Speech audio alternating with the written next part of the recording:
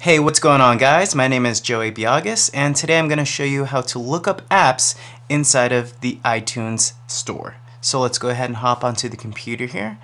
Now I have iTunes already open here. What we're going to do is uh, we're going to switch over to the iTunes store. So if you don't know how to do that, you just cruise over to the top right corner over here, click on iTunes store. Alright, now this is the main home page.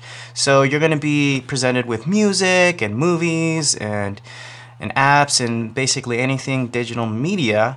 But let's go ahead and focus on the actual App Store. So we can click on App Store. All right. Now inside of the App Store we have options to look at just iPhone apps or just iPad apps since not every app is available for both devices. So if you wanted to narrow down your search. But let's go ahead and take a look at that which is right below the App Store menu. We have iPhone and then we have iPad. Okay? But the general search bar is at the top right hand corner where it's always been for a very long time. So we can just simply click on there and type, uh, let's do something well known like Angry Birds. Let's do Star Wars 2 since that seems like a cool one to pick.